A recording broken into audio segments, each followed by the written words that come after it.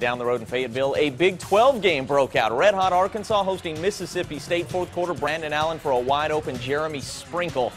Seventh touchdown pass of the day for Allen. Seventh. Hogs lead 50-44. Bulldogs answer. Dak Prescott more than 500 yards passing. The touchdown of Fred Ross giving MSU a 51-50 lead. Final chance for Arkansas. Allen leads the team all the way down. 75-yard drive. Cole Hedlund can win it. Blocked.